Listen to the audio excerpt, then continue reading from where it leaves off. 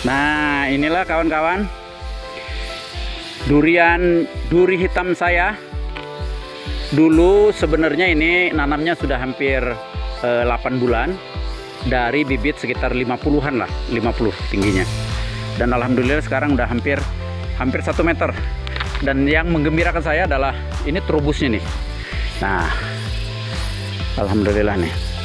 Ini liatin nih. Ini tanda duri hitam kan? Mudah-mudahan ini sangat bagus. Dan di bawahnya ini setelah digemburkan sama saya ditutup dengan ini nah. Bawah ini nah. Nah nih. Sama eh dadap. Daun dadap nah. Hmm. inilah.